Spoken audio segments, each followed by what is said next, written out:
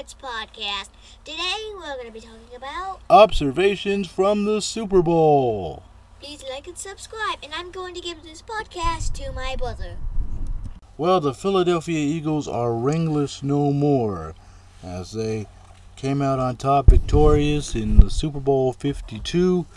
So, Philadelphia gains their first world championship since 1960 in the era of Norm Van Brocklin and Chuck Bednarik at linebacker.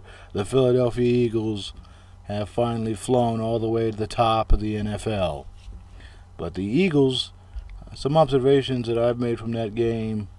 Uh, I think the Philadelphia Eagles were the more aggressive team in this game, and I think that's a big reason why they won. The play where Zach Ertz threw the ball, the play where the ball was thrown to Nick Foles, the quarterback, for the touchdown, making Nick Foles the first quarterback in Super Bowl history to throw to receive a touchdown catch in the 52-year history of the Super Bowl. And I think the Philadelphia Eagles were the more aggressive team. I think Tom Brady, even though he threw for 500 yards, I think he was uh, thoroughly outplayed by halftime. And that's not just from the the passing end; it's from the receiving end as well. Um, Nick Foles caught a touchdown pass. Tom Brady dropped his pass in the Super Bowl, and so I think that's a big. Uh, I think that was a big, big play there. The catch by Foles in the end zone and the drop by Brady. But Tom Brady did throw for over 500 yards. But the Philadelphia Eagles, world champions, the more aggressive team, won the Super Bowl.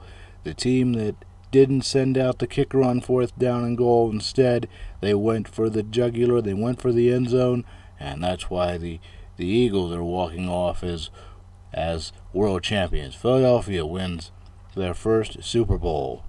And for Tom Brady, the wait for ring number six will have to begin again. But it was a a very exciting Super Bowl, and if you watched it hoping New England would lose, I guess you got your wish. Uh, first Patriot loss, Tom Brady now falling to one and three against the NFC East in the Super Bowl. The two losses the two losses to the Giants and the loss now to to the Eagles in the Super Bowl.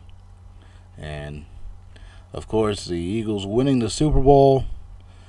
And now the mass exodus has begun from Philadelphia, at least in the coaching staff. Frank Reich, who led the biggest comeback in NFL history and the biggest comeback in college football history, will now be the next head coach of the Indianapolis Colts uh, week after Josh McDaniels, uh, the Patriots offensive coordinator, uh, was apparently going to become the head coach and then backed out of the agreement. But the Colts will now have the offensive coordinator of the Eagles, Frank Reich, will now become the next head coach of the Colts, a five year contract. And so the Colts have a good young core of talent, but getting them to the next level to become the next a team like Jacksonville Jaguars. Uh, the Colts have a ways to go to enter that level, but they have some good pieces, especially at the quarterback position. Andrew Luck, I still think he's going to be a star in the NFL.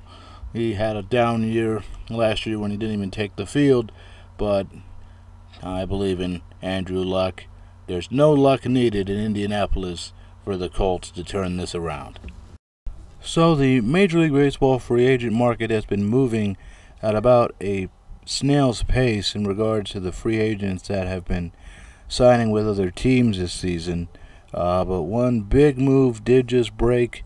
Um, the Cubs have a new toy in the rotation, Yu Darvish, taking his talents from Los Angeles to the north side of Chicago. The long rumored move is finally going to happen. Yu Darvish taking his talents to Wrigleyville and instantly uh, becoming a part of another team and has its goals set on hoisting the World Series trophy. But the way that Yu Darvish melted down last year against the Astros, but hopefully the Cubs have plenty of time to figure out if that was an anomaly or if there's something deeper uh, going on with Mr. Yu Darvish. Uh, he was a decent starter in the National League. I predicted that he would do well in the National League, taking his talents away from Texas Rangers and the American League, and he took the Dodgers to the World Series uh, for the first time since '88. And so the Dodgers were, were so close to winning. Uh, they lost Game 7 at home to the Astros, and obviously a big loss for the Dodgers as well. Yu Darvish not coming back to that to that spacious ballpark in LA. Overall, I like this move, and I feel like Darvish will help keep the Cubs competitive. Uh, the Cubs, as they're constructed right now, they're probably a 90 win team. And if I had to go in the battle with this team as it's constructed now, I'd like my chances over how they would fare over the course of the season. Uh, so, welcome to Wrigley, Yu Darvish. I think you're going to like it there.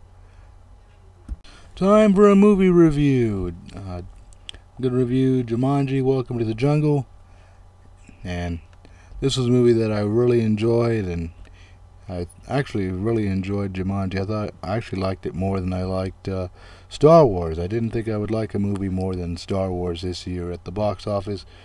But uh, Jumanji, Welcome to the Jungle, Dwayne Johnson, Kevin Hart, they are hilarious in this movie.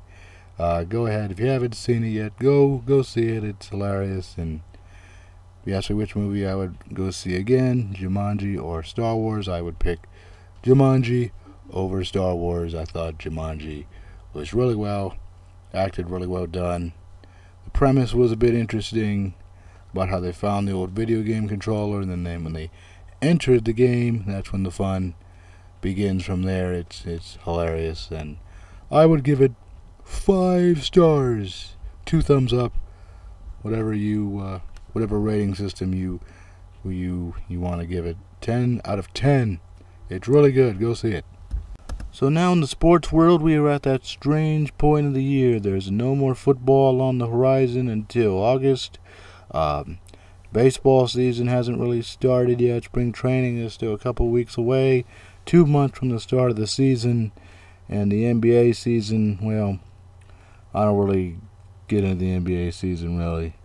Uh, their postseason doesn't start till April. Uh, a couple months away, and I'm still unconvinced that anybody other than the Warriors or the Cavaliers will be the last two teams in the NBA Finals, even though the Cavaliers just made a huge trade to try to keep LeBron James happy and keep him in Cleveland, try to prevent LeBron from pulling another decision and leaving Cleveland again. Um, it's gonna be it's gonna be interesting, but the NBA they have a problem when the rest of the league the NBA has two very powerful teams right now, the Warriors and the Cavaliers, and much how many many NFL fans probably hate watch the Patriots.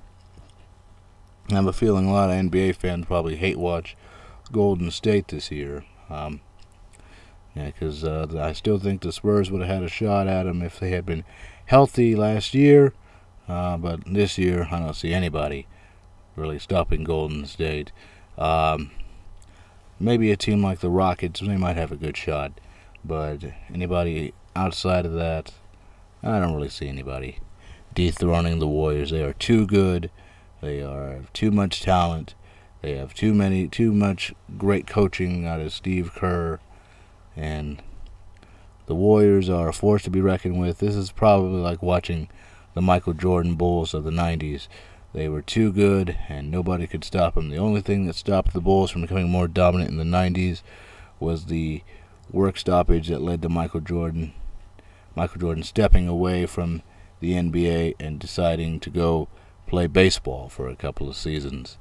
Uh, the only thing stopping the Bulls from being more dominant than they were of the 90s.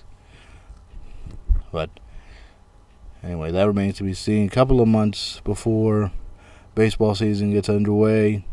NBA season is underway. March Madness is uh, three weeks away from filling out a bracket. Uh, so we're at this strange point in the year where there really is nothing going on major in the sports world other than basketball, college and pro. And it's always a strange point in the year. It's like, what is somebody who, what is somebody who's only like football only? Do they just, I guess they just sit sit around and wait for August and preseason football to happen.